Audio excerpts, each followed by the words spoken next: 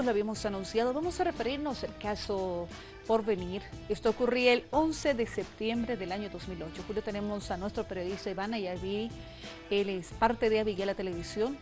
Eh, dentro de su tarea periodística estuvo eh, realizando la cobertura, estuvo en el lugar cuando se presentaban estos hechos y por eso lo hemos invitado y que fue parte de Último Rojo. Iván, buenas noches. ¿Cómo estás? Buenas noches. Iván, de repente eh, son sucesos que pareciera que, van quedando eh, en el pasado y dejarlo así cuando es un elemento tan importante que ha marcado la historia de nuestro país, que ha eh, generado que se empiece a dar la importancia necesaria a un proceso que conocíamos hace instantes ha tenido repercusiones por el tema de la Asamblea Permanente de Derechos Humanos. Más allá de eso, nos gustaría conocer los detalles, tú que estabas en la cobertura. Bueno, han pasado ocho años y me parece que hubiera sido ayer o el fin de semana lo que ha ocurrido. Yo recuerdo que en horas de la mañana, un 11 de septiembre, mm, nos enteramos que había problemas, pero eran, la información no era muy clara. Debido a que en Cobija, Leopoldo Fernández controlaba absolutamente todo. todo. Y la información que venía de allá era muy escasa solamente se tenía conocimiento de, eh, por vía telefónica que quienes reportaban algo. En la noche, eh, de manera obviamente rápida y con muchas reservas, se preparó un grupo de, periodistas, entre ellos estaba eh, Donald Maldonado, que era mi compañero, Nancy Bacaflor, que en esa época estaba trabajando en la radio Herbol, y mi persona, quienes nos trasladamos, junto con camarógrafos y otro equipo más, para partir hacia, la, hacia Cobija. Fuimos en un avión Hércules, la, el aeropuerto estaba tomado. Eh, horas antes los militares habían logrado mm, recuperar el aeropuerto, el control, pero no la parte central, sino una parte. Tuvimos que esperar mm, pasada la, medianoche, en la madrugada partimos. Eh, fue muy triste y muy desesperante porque mm, a mi alrededor podíamos observar eh, soldaditos, los que están haciendo el servicio militar, la mayoría de ellos eh, campesinos de 17, 18 años, eh, portando un arma. Y en ese momento el grupo de élite, teníamos entendido que estaba en otro lado, estaba en Tarija, tratando de resguardar que tomen un, puesto de bombeo de gas que, que conducía ese combustible hacia el Brasil. Y entonces, eh, obviamente, los profesionales militares de élite estaban en otro lugar y no podían llegar, habían problemas. Es más, el, ejército boliviano no tenía tanta infraestructura como aviones, mm, vehículos aéreos para poder transportar gran cantidad de personas. Teníamos un Hércules que estaba en ese dato en funcionamiento, según había información, y era el único que nos podía trasladar al lugar. Llegamos a pasar la medianoche. Recuerdo que ese día, esa misma noche, mm, eh, nos prohibieron utilizar celulares, mm, no por el temor de que no podíamos comunicarnos, sino por el temor de que alrededor habían francotiradores. Y considero que una de esas yo me salvé la vida, porque mm, eh, yo me levanté desesperado, quería hablar con, mi familia, y encendí el teléfono, y, de repente sentí como si hubiera como si pasara un bicho algo algo caliente y luego impactó con, contra un tanque que teníamos de, agua. Y fue como si hubieran lanzado una piedra. A los segundos, uno de los militares que estaba por ahí se abalanzó contra mí y me hizo caer al piso. Me botó al piso. Y al día siguiente pudimos ver que el tanque se vació del agua, nos quedamos sin agua y tuvimos que estar así eh, esperando eh, a que los militares... Era un disparo, ¿no? Claro. Obviamente. Era un disparo. Era un disparo. Era un disparo. Y para que los, inicialmente los militares incursionaron, para poder ver, eh, hacer un reconocimiento, toda la ciudad de Cobija, que es pequeñita además, estaba tomada. Según reportes que teníamos verbales de los, de los militares que salieron, eh, existían en las calles eh, personas con armas, habían otros con mm, metralletas pequeñas, las UCIs, había muchos que andaban con escopetas y rifles y era un reino de tesoro. Si a ti te veían con, con, un color, un acento colla, y además que te delataba que estabas recién llegado, porque es clarito, los colles cuando llegamos allá empezamos a transpirar, no nos acostumbramos, ya eran amedrentados, sometidos, golpeados. se vivía un momento muy crítico. Pasadas esas horas, el ejército boliviano, en esa oportunidad estuvo mm, el ministro Juan Ramón Quintana también comandando, lograron incursionar tras la llegada, ¿no? el arribo de los militares profesionales, los militares que, trabajan. Y no quisieron arriesgar, me imagino, a los mm, soldaditos. Y, horas antes hubo, murió un, soldadito de 18 años, producto de un enfrentamiento ahí en, el mismo aeropuerto. Tenemos un video, quizás lo podríamos ver, lo vamos a reflejar, dura aproximadamente seis minutos. Eh, es un video que se hizo hace un tiempo atrás donde vemos quién era Leopoldo Fernández, sus antecedentes, eh, qué hacía cuando era gobernador o prefecto en esa época y el desenlace fatal. vamos a verlo entonces. Leopoldo Fernández es un cacique que mantuvo el control casi feudal de los poderes públicos y privados en Cobija y provincias de Pando desde los años 70. Exfutbolista que no culminó sus estudios universitarios.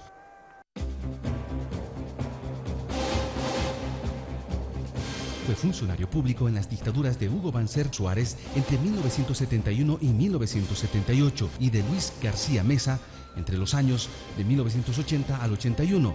En ese tiempo, los novios de la muerte, Darby, Graquiae, los paramilitares argentinos fueron los dueños absolutos de la nación. Como prefecto, Leopoldo Fernández tuvo varias denuncias. En el 2006, la ex ministra de Gobierno, Alicia Muñoz, denunció que Fernández entrenaba en Cobija a paramilitares supuestamente para labores de seguridad ciudadana. Subvencionó con supuestas becas estudiantiles a jóvenes que eran parte de grupos de choque. Entregó además dinero provenientes del IDH al Comité Cívico de Pando a la cabeza de la hoy autoexiliada en Brasil, Ana Melena de Suzuki, para sus gastos operativos.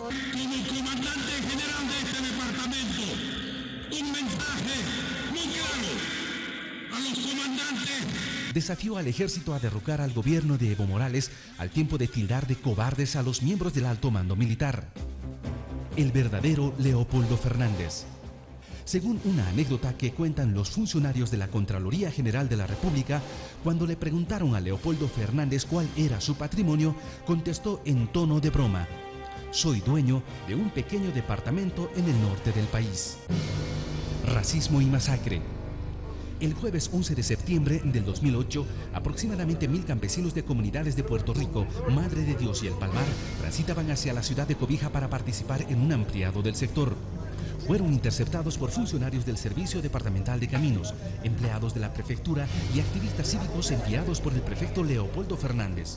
Pero quiero decirle a don Evo Morales y a su ministro que para no cambiar para no cambiar, para no permitir que nos impongan ese gobierno dictatorial que quiere imponer, también va a correr sangre. Y si tiene que ser sangre de boliviano y sangre de pandino, la vamos a hacer nosotros correr. Los funcionarios armados hasta los dientes fueron transportados en movilidades de la prefectura al lugar, de antemano establecido para emboscar la marcha campesina. Los camiones del SETCAM llevaron retroexcavadoras para cavar zanjas y evitar una retirada de los campesinos acorralados contra el caudaloso río Tahuamán. Luego los emboscaron.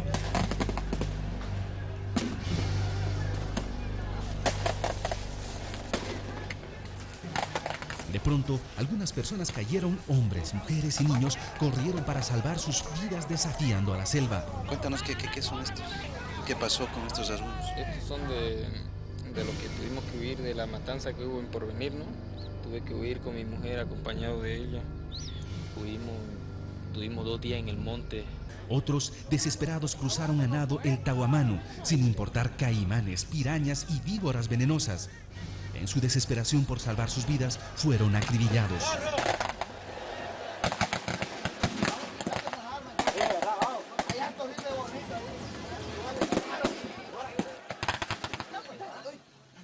Incluso iban nadando, ellos salían y le disparaban.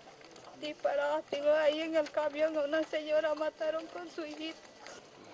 Y él falleció ahí. ¿En el río? Sí. ¿Dónde le llegó el, disparo? No lo pude ver. En el este, de la- cuando corrimos, ahí nos desparramamos. Wilson Mejía estaba en el río, ¿eh? Sí, yo sé que él salió de aquí a las 3 de la mañana.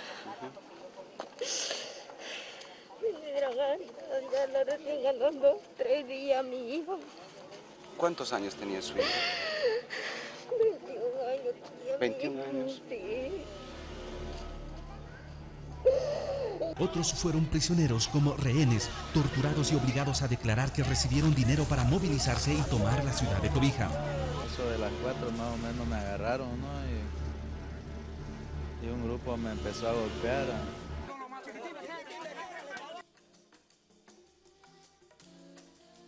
Querían de que yo diga de que don Chiquitín Becerra me había dado 200 bolivianos, ¿no? Porque yo no decía, entonces él me disparó, ¿no?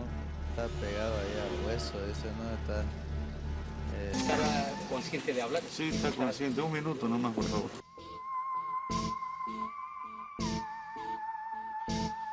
Un minutito.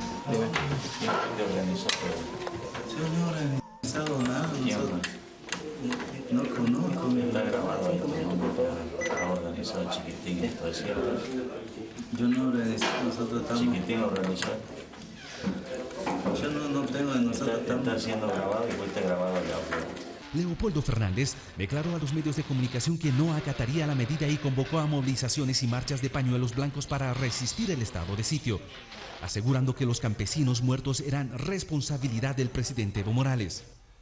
La Fuerza Naval y el grupo de élite realizan las primeras incursiones a la ciudad, incautan armamento y gran cantidad de municiones y se detiene a varias personas. 10.45 de la mañana, la Fuerza Naval realiza una operación y detiene al prefecto Leopoldo Fernández, quien no opone resistencia ante la presencia enérgica de las Fuerzas Armadas. No fue necesario el uso de la fuerza. Se abre un proceso judicial contra Leopoldo Fernández y un juez lo envía a la cárcel de San Pedro como medida preventiva. El 11 de septiembre de 2008, en la localidad de Porvenir y otros sitios del departamento de Pando, República de Bolivia, se cometió una masacre en el sentido empleado para este término por la Organización de las Naciones Unidas. Población civil que fue objeto de un ataque generalizado o sistemático, realizado con conocimiento de dicho ataque, en el curso del cual se cometieron múltiples asesinatos. Ahí. Un informe completo, un resumen de lo sucedido. Y nos llegaba un mensaje, Julio, de que se interfería la señal. Puede ser una coincidencia. ¿no? Podría ser. Es muy Bueno, probable, ¿no? Iván. Bueno, es un resumen mm, ajustado, apretado de, de lo que ha ocurrido allá. Antes te interrumpo un segundito. Sí. Leopoldo, di- dicen los que lo defienden que Leopoldo no tuvo, no tuvo nada que ver. Nada que Es- ver. Que esto- prácticamente es un montaje. Los llantos, la tragedia de esas familias es otro montaje, supongo. Acabamos de verlo. Es un chiste. Leopoldo Fernández controlaba esa ciudad, incluso hasta la policía. Cuando nosotros salimos a buscar testimonio, nadie, nadie quería hablar en ese lugar, días después de la masacre. Extra micrófonos, algunas personas nos comentaban historias de no creer. Por ejemplo, y esto existe, está, lo pueden googlear, buscar, cada semana por lo menos habían dos o tres o un ajusticiado en la ciudad de Trinidad, De cobija. en Cobija, perdón. Entraban, baleaban a uno y desaparecían. Cruzaban al frente, que está cruzando el río, está eh, Brasilea. Brasilea, Brasil. La policía no hacía absolutamente nada. La policía estaba tan minimizada que tenía unos cuartuchos de comando y unas cuantas personas que iban los castigados. No les compraban vehículos, no les daban nada. Ellos estaban destinados a reprimir, a controlar a la gente pobre, a los que se rebelaban, pero a los ricos nada. Leopoldo Fernández, tenemos testimonios, ¿eh? ¿Cómo compraba la gente? Tenía por lo menos más de 2.000 empleados en la gobernación o la prefectura. En en prefectura. Una, una prefectura pequeñita, 2.000 empleados. 2.000 para una ciudad que no pasaba los 20.000 habitantes en esa época. Entonces él tenía controlado y cuando llegaban épocas de elecciones, él, que se hacía llamar el cacique, muchos le decían, iba a los lugares donde detectaban a alguien que no estaba comulgando y sabían que no iba a votar por él, de buena gente, detrás de un, un camión, y preguntaba y entraba a las casuchas, porque son casuchas allá, gente muy pobre, extremadamente pobre, y les hablaba y les preguntaba, les saludaba, ¿qué quieren? ¿Qué les necesitan? Un bañito, bajen cemento, ladrillos. El cemento y ladrillos es un bien muy preciado allá, muy preciado. Llegamos a otro lado donde "Mm, no tengo trabajo, una motito, una motito para que trabaje. Así compraban la gente. Y eso es real, y eso ha existido allá. Y el tono en cómo hablaba Leopoldo Fernández en esa época, ustedes lo han podido ver, era terrible. Desafiante, ¿no? Desafiante, no tenía miedo a nadie. Tanto así que todos los medios de allá estaban controlados, tenían terror, tenían miedo a entregarnos imágenes a nosotros que hemos logrado buscar y conseguir. A continuación vamos a, mandar, vamos a presentar cómo Unitel en esa época tergiversó la verdad y nadie dijo nada. Los mismos videos que ellos utilizaron logramos conseguir, los mismos. Y ellos mostraron un, panorama distinto y lo llamaron las imágenes de la verdad, la realidad, lo que ha ocurrido en Pando. ¿Y cómo mostraban ahí? Mostraban a los cívicos, a los, a los empleados de la prefectura, que estaban armados con palitos y, petardos, que así se enfrentaron a los campesinos, a esos campesinos que los masacraron, que vinieron a una, una reunión en Cobija, los cercaron, cavaron en medio de carretera una zanja y luego los esperaron en el pueblito en Porvenir y al entrar allá les atacaron. Pero Unitel no dijo eso en esa época. Y además, lo más curioso y lo más chistoso, ¿no? Utilizaron a un presentador, ¿no? De un programa deportivo para presentar la nota, una de las notas más importantes que además lo anunciaron. Me imagino que los otros periodistas no quisieron participar en este, en este show, en este montaje de la verdad. Y a ver si podemos ver mm, esta, esta nota, esta recopilación que tenemos. Registrado hechos realmente graves, imágenes que van a impresionar a todo el país. Ustedes vean porque esta es una cronología de todo lo que no se vio en días muy duros, muy tristes y conflictivos para la historia de nuestra patria. Veamos.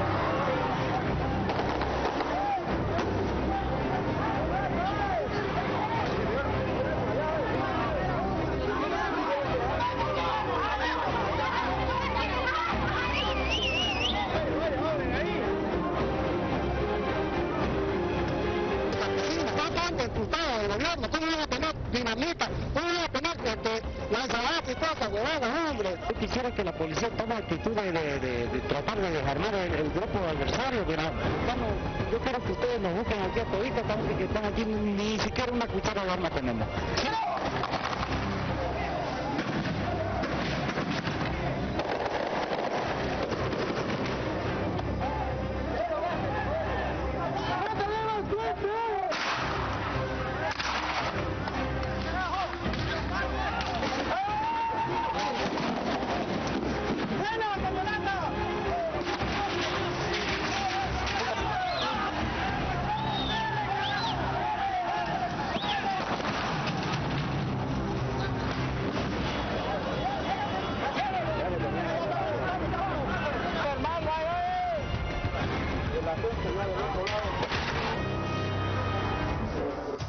Son las imágenes que resumen la verdadera historia de lo que ocurrió entre Porvenir, Filadelfia y COVID.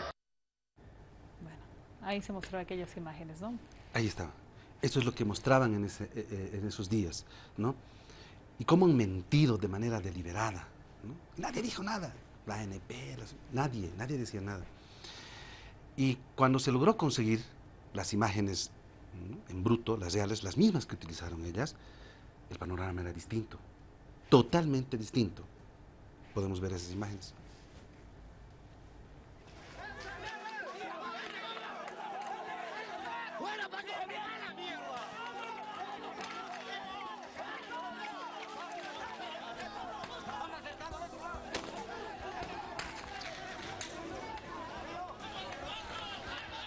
Ese es el, el porvenir.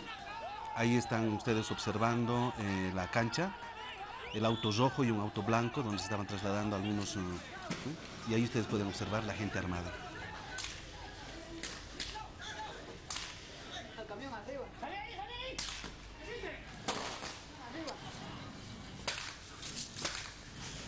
también se logró identificar a alguno de ellos. Ahí está,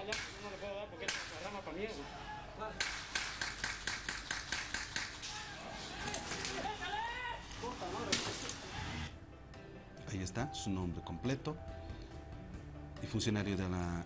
Aquí está Franco. Ajá.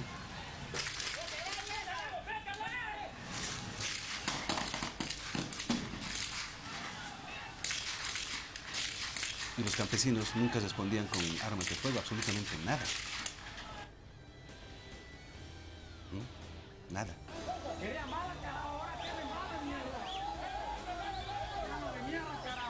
Y esto no es una reacción espontánea. Esto ha sido planificado. Ha sido elaborado. Aquí están. Gente con niños. Si tú te vas a ir a enfrentar, ¿vas a llevar a tu hijo? Es la pregunta más contundente. Y también ahí se puede observar, hay oficiales de, de la policía, que en otros videos han salido, ¿no? Hemos reducido 15, una veintena de policías, que no hacían absolutamente nada, nada.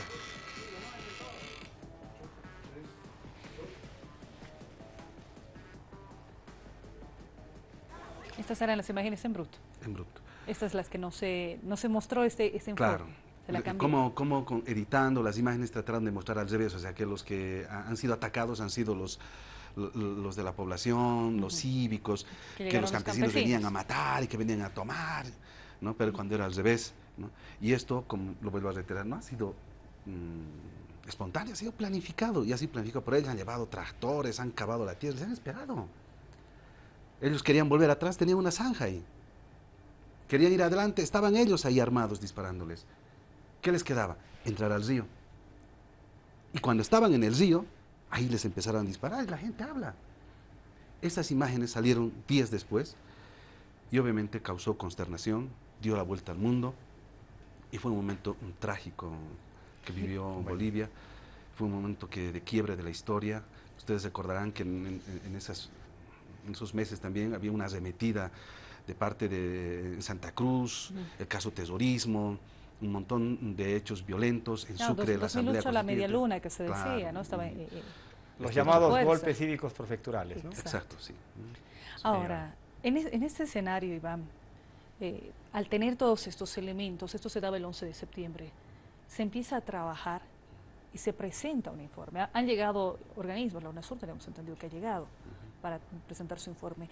Y precisamente para que se vaya este proceso, el capítulo boliviano, la Asamblea Permanente de Derechos Humanos, ASUFAN, incluido Defensor del Pueblo, presentan un informe y se habla de masacre del porvenir. Un informe de repente muy reconocido. Bueno, en, en términos legales, y lo decía también eh, Ujú. el representante de UNASUR al final, ¿no? Sí, que sí. eso está catalogado, está tipificado eh, en los convenios internacionales como de la ONU, que hace una masacre. No, no, no es que ha habido un enfrentamiento y se Ha sido planificado. Claro, ¿no? todo, todo fue planificado porque obviamente sabían que eh, iba a haber una asamblea de los campesinos en Cobija, que tienen el derecho de hacerlo, es un, un lugar además grande, amplio, donde puedan reunirse, y estaba viniendo campesinos. Y ahí fue. Eh, intentaban crear el caos, intentaban justificar y dar la vuelta, hacer creer a la gente que fueron ellos y que la revuelta se dé eh, en los otros departamentos y se tumbe en esa época al, al- al gobierno. ¿No? Eh, Eso fue eh, planificado y deliberado.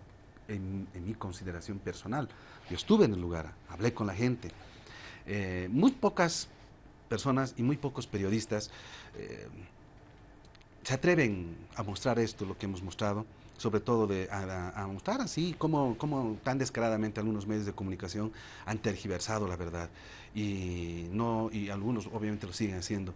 Pero las cosas están ahí, no se puede cambiar, no se puede borrar y, da coraje también escuchar, digamos, a una representante de, los derechos humanos decir, creer que Leopoldo Fernández es inocente, pues lo dirá la justicia, ¿no es cierto? Los elementos están ahí. Y eh, en una institución pública, nada se mueve sin que sepa, pues, la máxima autoridad. Llevar vehículos, transportar t- tractores, eh, distribuir alimentación, un montón de cosas, todo planificado. Y además, tanta gente que trabaja una, en una prefectura o trabajaba en una prefectura pequeña y decir que no sabía, ¿no? que fue algo premeditado. Bien, Iván, muchas gracias. Tu documento audiovisual, televisivo es de gran valor en este momento. Nos ha refrescado la memoria y nos ha removido las entrañas, porque verdaderamente lo que tú sientes, lo siento yo, esa indignación y esa impotencia de gente indefensa que ha tenido que arrojarse al río para intentar salvar sus Salvar vidas, no su lo han vida. conseguido. Y bueno, la justicia será la encargada de decidir cuando corresponda si Leopoldo Fernández es o no es culpable. Ese es otro asunto. Es, una, es muy lamentable el precedente que está dejando la presidenta actual de la Asamblea Permanente de Derechos Humanos de Bolivia, Amparo Carvajal, que ha decidido apartarse del juicio, retirar la acusación eh, y por lo tanto en alguna medida ayudar a, Leopoldo Fernández a, que la carga sea menos pesada de la que ya es.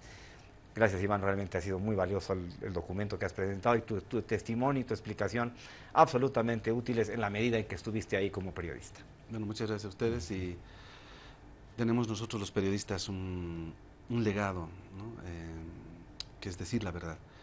Muchas veces duele, muchas veces te traen problemas, te traen complicaciones, pero para un periodista la verdad es el instrumento, es más importante y vital en nuestra profesión.